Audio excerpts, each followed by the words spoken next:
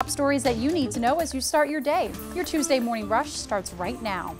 And four years after two men died at the former Allen Benedict Court Apartments, a $2 million settlement has been reached in that wrongful death lawsuit filed by the family of one of the men. 61 year old Calvin Witherspoon Jr. and 30 year old Derek Roper died in 2019 due to carbon monoxide poisoning after a gas leak at the apartments. Following the deaths, 400 people were forced to evacuate and find another place to live. Witherspoon's family filed a wrongful death lawsuit against the Columbia Housing Authority. Of that money, the family is expected to get about a million dollars. And Sumter police say that a child and teen were both injured in a shooting that happened Sunday night. It happened at around 7:30 in the Lawson Street area. We're being told that a woman and an 18 year old were outside when gunshots came from a dark colored Ram pickup truck. The 18 year old and an 8 year old child who was inside the home at the time were both hit.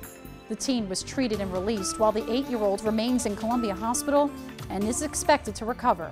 If you have any information that can help investigators, call Crime Stoppers at 1 888 Crime SC. And over in Orangeburg, deputies are asking for your help in a fatal shooting cold case. It happened back on October 15th of last year. Deputies say just after 9 p.m. that night, they were called to the hospital for a victim who had been shot.